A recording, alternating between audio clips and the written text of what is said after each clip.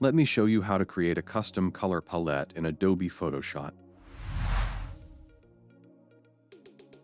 Go to File menu, Export, and choose Save for Web. Adjust the view image. Choose GIF colors. Type the number of colors you want to include in your palette.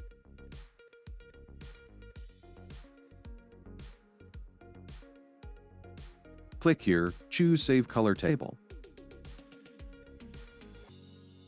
Type your file name and save it.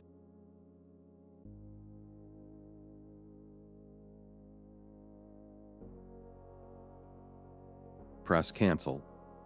Now, let's load the color palette into Photoshop. Go to the Window menu and select Swatches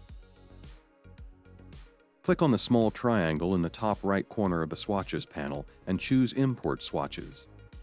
Select the swatch file you saved earlier.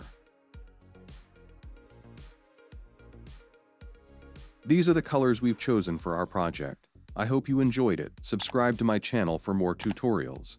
Thanks for your support.